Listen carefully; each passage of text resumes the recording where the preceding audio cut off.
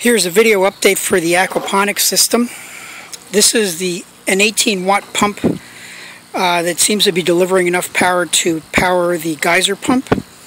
Basically this air pump is pumping air into this geyser pump here and the water is flowing up this tube and is filling up the grow bed. You can see the water coming out right here on this end. However, an issue that I'm running into is I can't get the bell siphon to work. Uh, sometimes it doesn't work with this amount of water flow, so I might have to look at a better bell siphon design that can work with this water flow.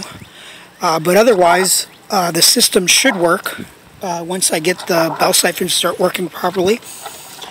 And the plan is to run each each grow bed off of its own 18 watt pump so that that way um, I can have some redundancy there in case there's a power failure.